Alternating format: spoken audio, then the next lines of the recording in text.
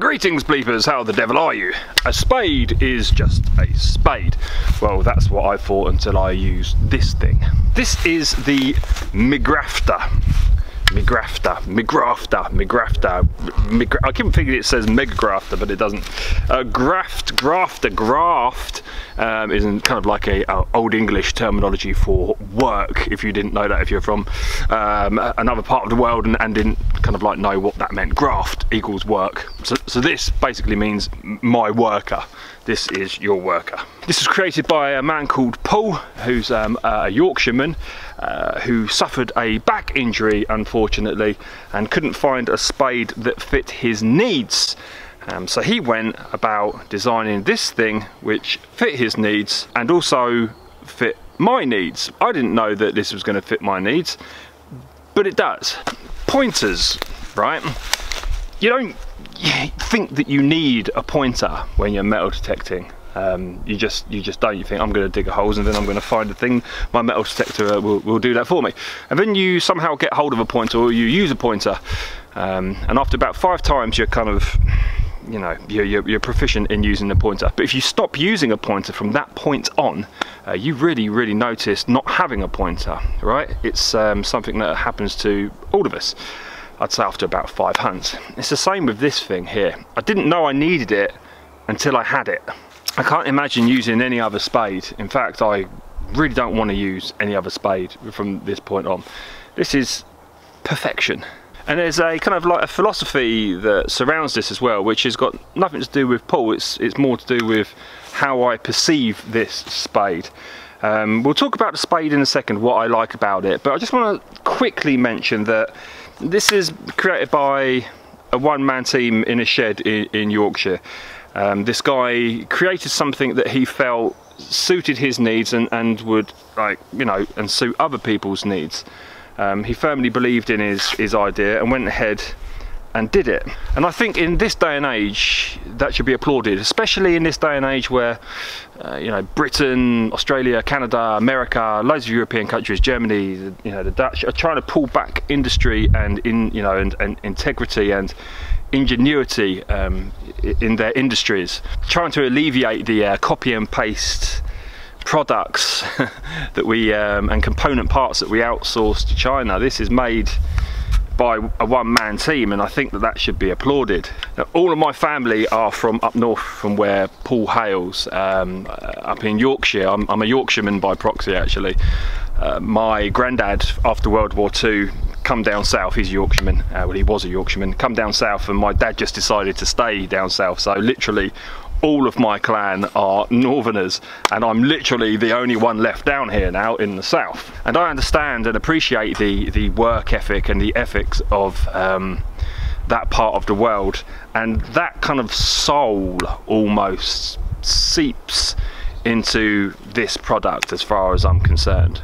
It's ridiculously hard but the engineering on it is perfect um, that's probably what I'm trying to say in a nutshell here.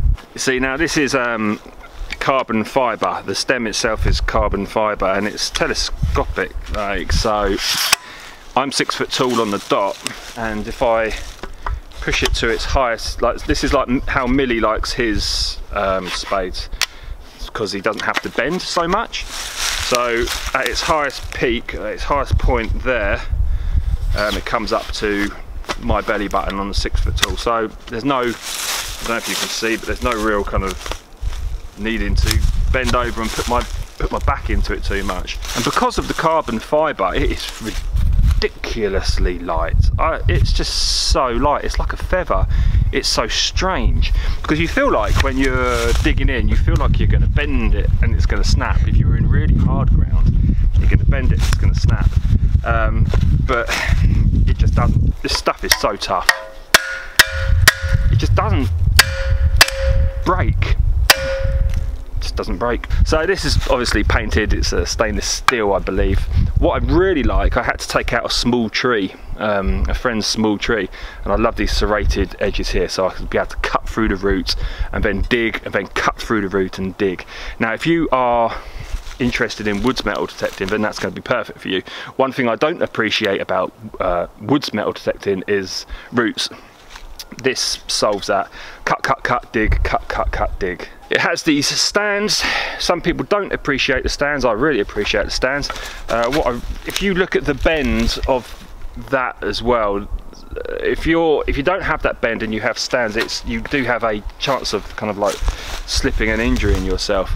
Um, what I most appreciate about these, it's got these like vel tough Velcro bits here, but also if you use a conventional spade that you buy from a garden centre, for example, um, the corners of those spades are they tend to be quite sharp. So I've lost about three or four pairs of boots just by constantly digging down and the corners digging up into my boot. That's not going to happen here. And it's just the going back to like the engineering of it as well it's very strange because you put your foot down like that and it's just I don't put any effort into the blooming thing. It's it digs itself almost. It's a very very strange experience for a spade. Um, but going down to its shortest it goes down to I would say again I'm six foot so it just goes up but above my crown jewels. All right so it's just above there. Um, and of course you can split this into two parts if you are on the move. Let's quickly do that. There you go. Just like that. And that's pretty much it. I mean I can show you videos of me digging with it but I'm digging. You can't really get that point across on camera. Um, you know you can only experience that your, yourself this is nice and sharp. Um, again it's just it's just absolute perfection and I can't imagine using anything else and I kind of like rue the day that I might have to.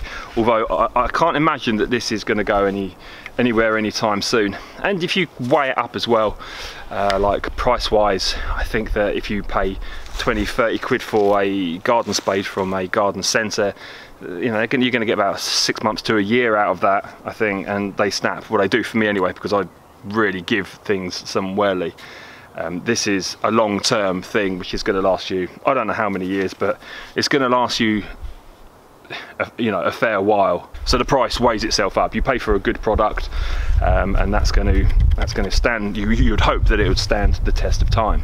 So there you go the Megraphta spade again just it's the soul and the idea of this. Uh, a one-man team. Um, crafted by his own hand um, put a lot of effort and thought into the engineering of the spade. And it's a thing that should be applauded in this uh, time of mass commercialization and uh, outsourcing I think personally. Well done Paul. You should be proud of yourself. Thank you for watching my friends and I shall see you in the next video